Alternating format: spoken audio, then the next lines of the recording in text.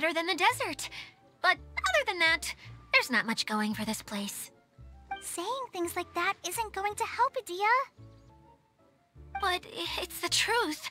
The desert is full of terrible memories for me. Being there was like... Yeah, like wading through thick mud.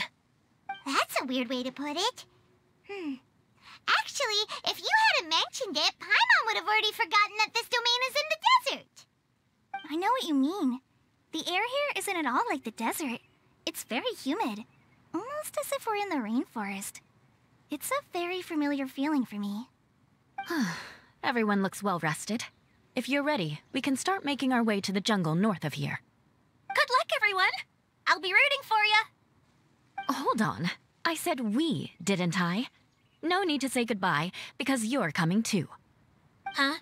But wait, I I'm, I'm just the mascot! You can't back out this time, Idyia. The manager of the fairgrounds is waiting to see you. She said Idyia is the only person who could help. Yes, Collei and I discovered a fairgrounds in the forest.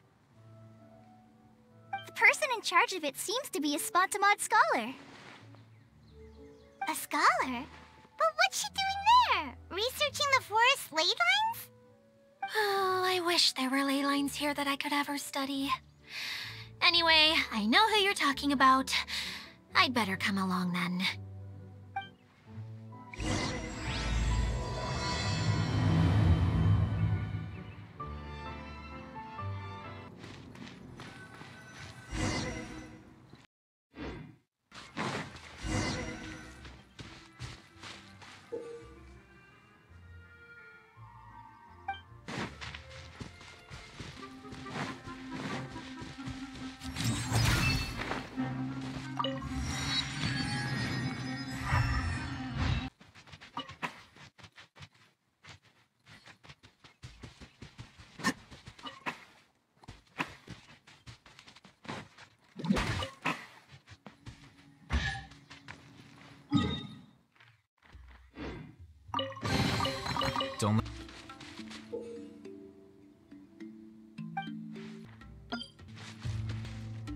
Finally, someone has arrived. Sorry to keep you waiting, Maimuna. We've brought Idyia with us. Thank you, Collei. It's been quite some time since I've seen you, Idyia. To be honest, I didn't think you'd actually show up. If anything, I thought you'd be curled up somewhere crying alone. Hey, you shouldn't be saying things like that. Doesn't seem to be the first time Paimon's heard someone say that about Idyia, though. You wanna see me cry? Fine! I'll stop crying right here! Huh? No, please don't! All right, all right, I shouldn't have said that. Now, who are these two? And Paimon is Paimon! They're reliable helpers. Lucky for you that I found them. You'd better be more careful about how you speak to them, okay? Of course. Good to meet you. You may call me Maimuna. For the sake of time, we should forego the usual pleasantries. Please follow me.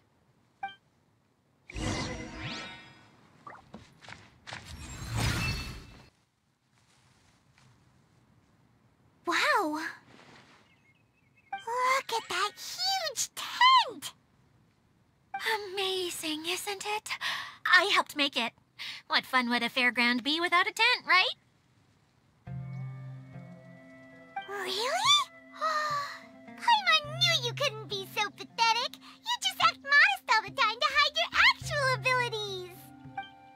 Uh, huh? What is it, Collei? Uh, sorry. I'm not sure if I should tell you. I'm afraid it might dampen the mood. That's not important. Please, just speak your mind. Uh, well, there are lots of vendor booths set up here, but there's no one running them. In fact, there's no one at this fair at all. it looks pretty deserted. The truth is, this used to be an exciting and bustling place. But just a few days ago, something happened, and it seemed like. Like, the world was suddenly flipped upside down? Yes, exactly. Something fell from the central hub into the tent and knocked down the crystal light that was hanging at the top. Oh, the crystal light. Mm hmm. I remember a certain someone said that we should have beautiful lights to celebrate at a fair, and made us that crystal light. But once the light fell, the tent became a complete mess and the Hydro Eidolons were trapped inside. Just when I was at my wits' end, a man from the Lawrence clan came and offered his assistance. Wait, he offered to help you? Yes, and he refused to listen to any of my warnings. He just walked straight into the tent and then. Yes? And then? Yeah, don't leave us hanging here! What happened? And that's it. He became trapped inside along with the Hydro Eidolons. Oh no, we have to do something! We can't just leave him there, Maimuna! I know, but the situation inside might be more difficult than you think. You should mentally prepare yourselves. Just talking about it is a waste of time.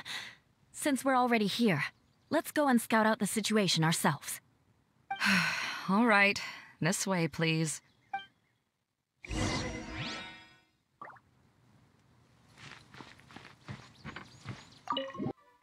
There used to be a large stage inside, but after everything got shaken up, it seems the very nature of the entire place was altered. The lamps and crystal light that were hanging above have all fallen down, which makes repairs near impossible. Wait, so you mean it's difficult to move around in there? Yes, mainly because of the lights. Do any of you have experience being on stage? Once the stage lights turn on, everyone's attention is focused on you. Uh. I can't stand that feeling. Having everyone's attention focused solely on me would just make me feel terrible. Me too! I'm no good at speaking in front of people. And then to have everyone staring at you. Oh, just the thought of it makes me shudder. Sounds like you have some things you haven't been able to let go of yet. Please don't laugh. I'm trying my best to change that, but there are still some things I can't overcome. Like when there's a lot of people around, or when people are staring at me. No, there's nothing funny about that. And you know what? It's not a bad thing to care when other people are looking. That's my opinion anyway. Think about it. Only people who have high standards for themselves would worry about failing to meet others' expectations. You have many good qualities, Collei. I bet if you had to learn dance since childhood like myself, then you'd be an even better dancer than me. No, no way! that would be impossible. I can relate. I know exactly how she feels. Maybe we should find a time for you to learn with me. And one day you will become an outstanding dancer too. By that time, you'll be so focused on performing your beautiful moves that you'll no longer worry about an audience watching you. Wow. You are so passionate about this that she's practically glowing now. Really? You do that? You wouldn't think I look stupid and secretly laugh at me, would you? You really think I'm that kind of person? Fine. Vengeance will be mine. Oh, no! Of course not. Uh, Alright, please teach me. Seems there's no need for me to warn you again. Anyway, you just need to open the curtain and you'll be able to see the stage.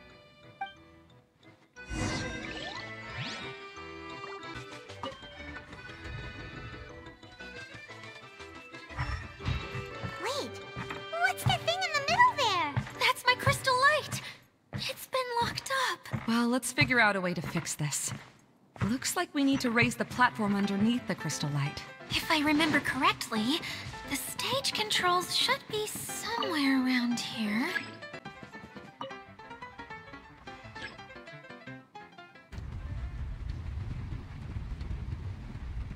Seems we have to use the colorful lens to make the light change colors.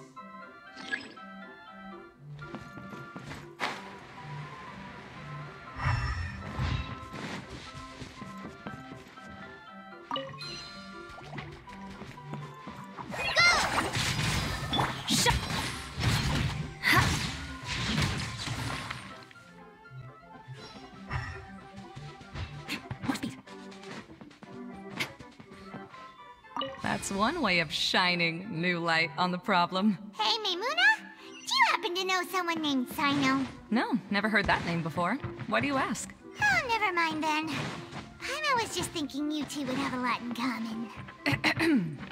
Back to the situation at hand. We should probably head into the passageway that opened now.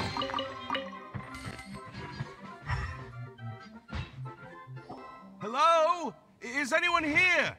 If you can hear me, please help! Lessig Lawrence? Who are you? Who has the audacity to utter my full name? Uh, you sure don't look like you're in any condition to be talking like that. Yep.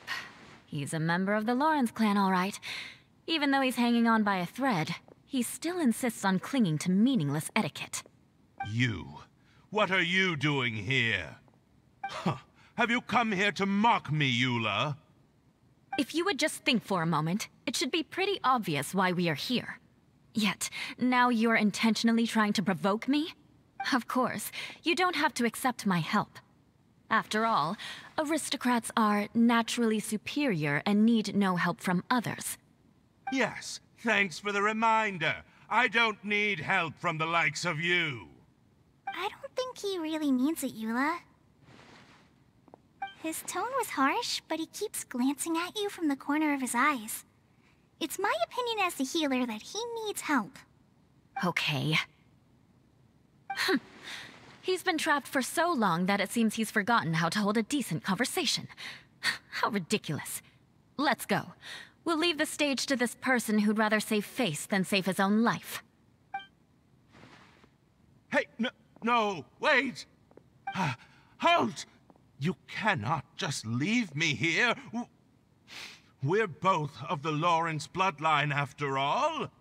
Helping me when necessary certainly won't tarnish your prestige. If anything, my embarrassing predicament will be overshadowed by your virtuous deed. We must uphold the prestige and dignity of the family. This is the best reason you could come up with? You think tacking on the word family will be enough to talk me into helping you? You should be ashamed for your careless actions. It's because of you that we all had to come here. I. Uh, Seems everyone in the Lawrence clan is this way. They'll do anything to save face. All right, all right. Looks like it's time for the mascot to step in. Here you go. One for Eula and one for Lessig. What is this? Candy? Uh, thanks. Oh, the smell. It's just like the aroma I smelled coming from the lens. Yes, that's right. Enjoying something sweet always lightens the mood. Oh, thank you, Miss Mascot. I certainly do feel much better now. So he's willing to thank someone else, but not me. Eula has been worrying about you the past few days and asked me several times regarding how to find you. But now that you two have been reunited, I won't have to keep answering her questions anymore. oh, I'm so happy. Let me clarify one thing. I don't care what happens to him. If you're going to keep saying nonsense like this, then Eula will never admit that she actually cares about him. Yeah, you're probably right. If you're going to keep saying nonsense like this, then uh, then at least give me another piece of candy. Hmm? Oh, sure, sure. I, I still have more. Sorry, I admit my mistake. I know I've caused heaps of trouble for all of you. Why couldn't you have just said that earlier? I'm back. Oh? Have you already finished catching up? Why are you all looking at me? Uh, nothing. Don't mind us. All right, then let's clean things up here and keep working our way toward getting the crystal light fixed. Ah, there's no need to push yourself in your condition, Lessig. I'll take him and find some place for him to rest. I happen to be a little tired myself. All right. I'll leave my cousin to you then. You'd better rest up and regain your strength before we settle things, Lessig.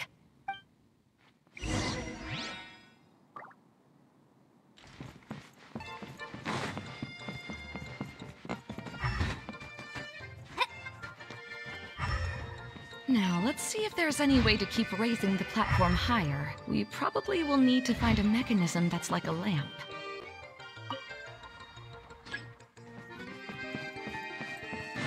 Strange. Is that really the Lessig that I know? You shouldn't always judge people based on the way you knew them before. People change, and people can always make different choices. Oh,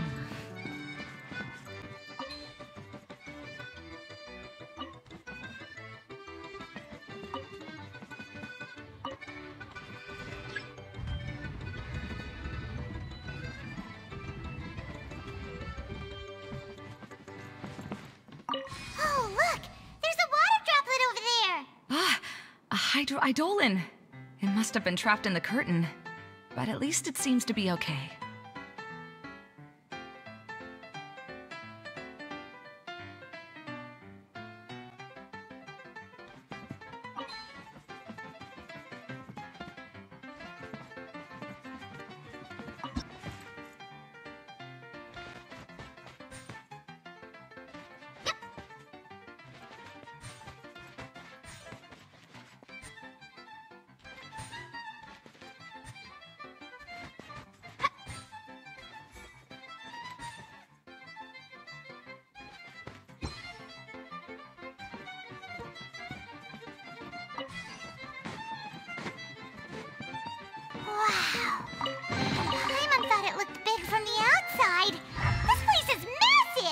It is a magical tent, after all. The inside is much larger than it appears from the outside. Haven't you heard stories with this sort of thing before?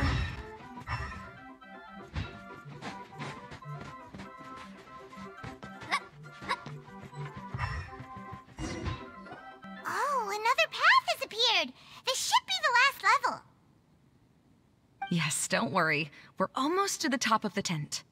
The last thing we need to do is raise the crystal light to the very top of the tent. After the stage collapsed, I realized that having it raised only halfway makes it look a lot like the stage at the Grand Bazaar. Have any of you visited the Grand Bazaar before? No, I haven't. I have. I've gone there a few times with Master Tighnari. The place is bustling with all kinds of vendors. And if you're lucky, you can see Nilou perform her dance. Oh, a dance from Sumeru? I'd like to see that myself. Hmm. If only it were on the way back, then we could stop there. It doesn't matter if it's on the way or not. I would be happy to take you whenever you have time, Eula. Great. I'll take you up on that offer. Yeah! Hmm. Now that Paimon thinks about it, we've already been there more times than Paimon can remember. Really? My father used to help with festivities at the Grand Bazaar and would always give me candy during the events. I was just a kid and didn't understand anything. I was happy as long as he gave me some candy. To me, fairs and festivals were the best things ever.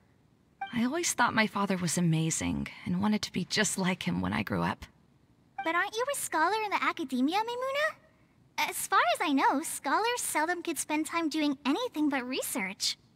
I doubt you could have time to assist your father in preparing festivities. Yeah, seems you read me like a book. When I had the choice between becoming who I wanted to be and who my parents wanted me to be, I ended up choosing the latter. But I was never happy about it. Huh. That's almost the exact opposite of Eula's situation. You must have already realized that.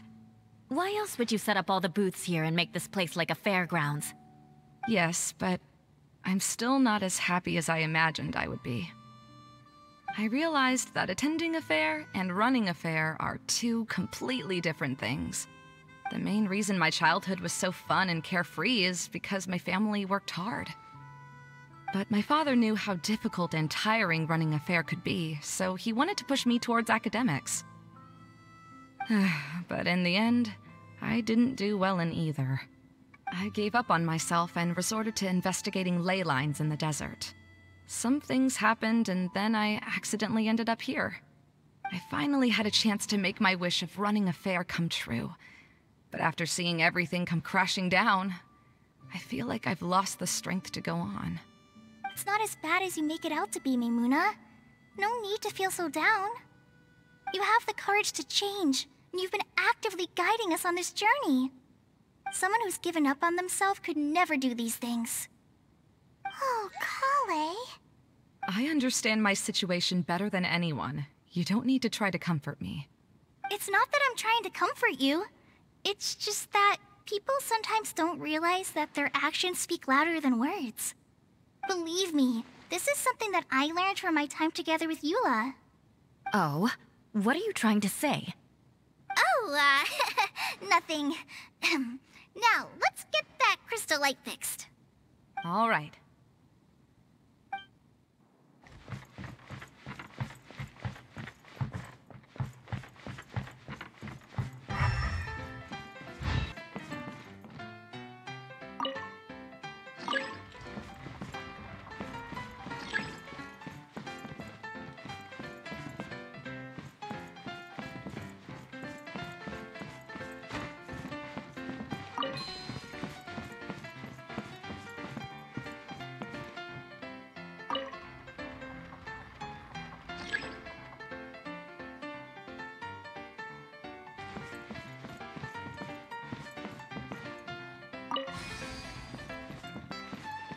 Pieces of the bolt have melted. Yes, the lens is made of materials that are easily melted by light. Is it me or do I smell something sweet here?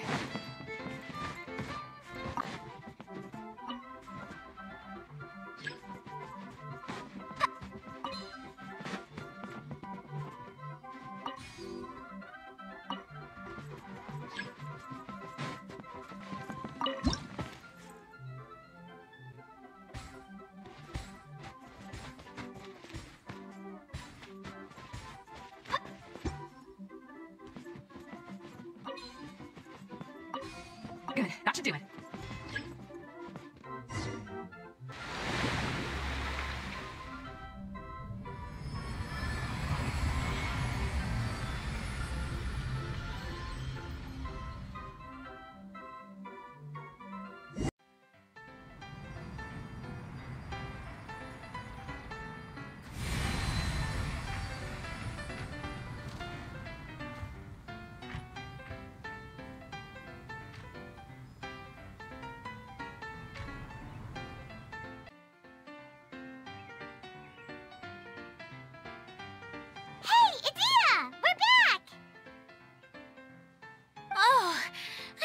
Starting to wonder what was taking you so long.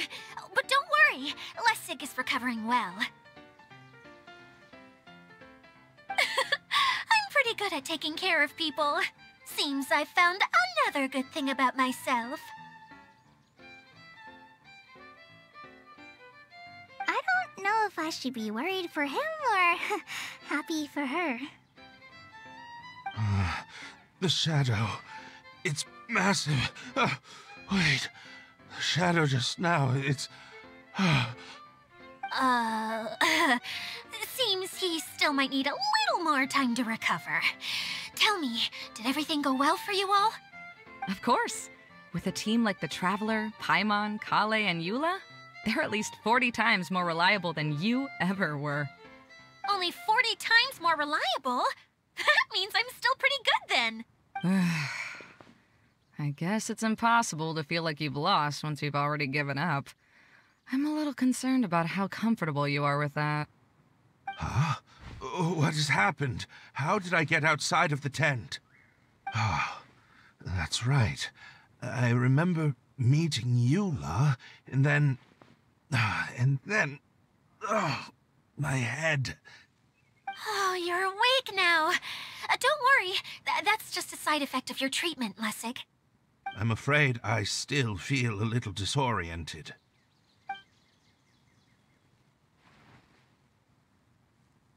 Lessig Lawrence? Oh, it's you, Eula. All right, all right, I'll do it. I'll come back to Mondstadt with you and abandon my wild efforts to restore the Lawrence clan. Interesting. Now you want to talk. Seems like you've had a change of heart. In that case, maybe you'll be able to explain everything in detail for us now. I. Uh, I admit it, yes. I came here in hopes of finding a way to restore the Lawrence clan to its former glory. But it was a long journey, and I didn't always know the way. I passed through Liyue and Sumeru. There was even a time when I lost my wallet and had to live in the wild. But the peculiar thing is, I realized that nobody knew me out there. And not a single person even cared about the Lawrence clan. You and I are like glass pawns that were raised in shackles. We were taught to act like nobles, but outside the walls of our home, the people of Mondstadt despised us. Such pompous, hateful, and stubborn teaching. It all culminated to making us cling to the old aristocratic dogma in an attempt to maintain our pride. It's like a never ending game of tug of war, but it is meaningless. You understand. Or I should say, you have already long understood. But I'm afraid that I have only just realized this. Hmm. Paimon sorta understands what Lessig is saying. Everything he said is true. Your family is probably unaware that you've already changed how you see things. Yes, this has all happened recently. After coming to this domain, I realized the Mondstadt that I want is one where not everyone fears me. All that I and many other members of the Lawrence clan long for is a place where we can live peacefully with others. Lessig, both you and I never had anything to do with the glory of the Lawrence clan. That is all in the past. We are just ordinary people. I originally planned on returning to Mondstadt after taking care of things here. I never thought you would come here. I was completely shocked, which is why I reacted like I did. I'm sorry. See, people can always make different choices, and it seems that Lessig has also chosen to become someone he truly wants to be. Yes, about that. Uh, I'm afraid I haven't quite found my own purpose in life yet. That's all right. Being able to clearly choose between becoming who you want to be and who your parents wanted you to be is already a step in the right direction. How to find true happiness is probably one of the most difficult research topics of all. I have a suggestion for you, Lessig. Why don't you return to Mondstadt and tell your parents what you just told us? They'll probably try to tear me limb from limb. But what about you? Did you ever tell your family about what you think? This is something that I've been thinking about, too. Perhaps the two of us can sit down with the rest of the clan and discuss it with them. The Lawrence clan is just like this stage. It was once home to glorious performances, but those days are now long gone. And it is time for the stage to be updated. She's so solid and tough, but also clear and open, like an ice cube. Is that why she's able to dance anytime and anywhere she wishes? Um, are you all done talking now? Yes, I think so. By the way, that is for you. Please take it. I found it on Lessig earlier. Oh, it's one of the missing components! Wait, so you had it all this time? Why didn't you give it to me earlier? Well, you didn't ask. All right, I admit it. I forgot about it. Okay, we'll let the Traveler hold on to it for now. Hmm? Wait, this looks like... It looks pretty familiar. Have we seen one of these before? Shh! Now's not the time to brag about being a hero! Ah, right! I also bought a similar box at the last festival. Yes, people often use this kind of box for candy at festivals. This was one of the materials originally used to create the tent. But now that the tent has been repaired, we no longer need it. Eating the candy from the box as an adult will never be as delicious as it was when you were a kid. But if you really think about it, there are way more things you can eat as an adult. Ah, so when it comes down to it, eating candy is sort of like life. It's just another choice. Hmm. So, as of now, we've already collected three of the missing components. Only one more to go. I'm sorry that repairing the tent took so much of everyone's time. You should all head back and have a rest. I'll lead the way.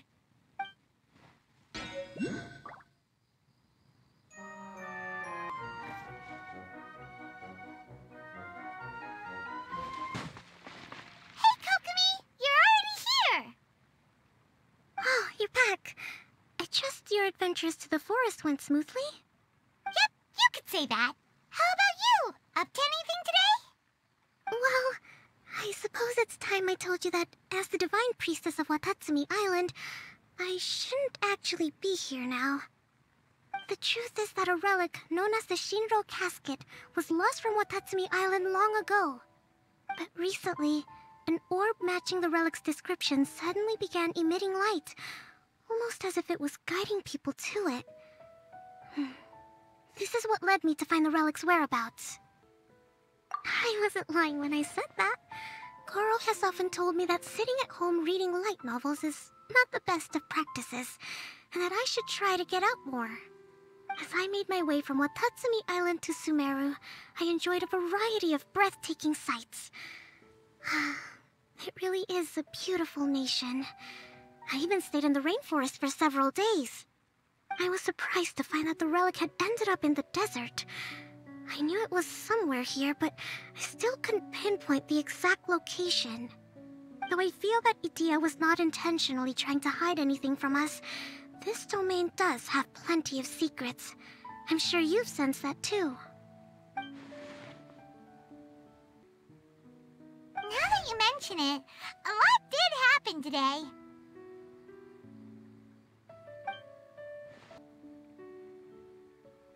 Hmm, I see. When you found Lessig, did you also happen to find any clues related to this domain? I'm afraid that he was caught up in his thoughts and didn't pay attention to his surroundings.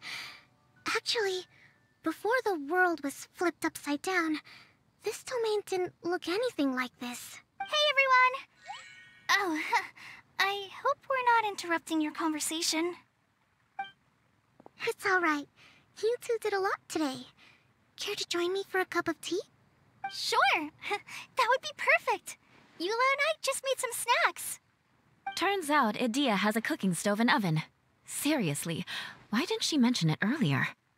Oh, so did you make us some moon pies? No, I made something called stormcrest pie. You should try one, Traveler. And I made some pita pockets. You could try some, Kokomi. It should taste great with tea. Uh, sorry, uh, I should call you General. Oh, I would be happy to try some. By the way, Eula, how's your cousin doing now? Oh, him. you would never guess, but he's busy over by the oven now.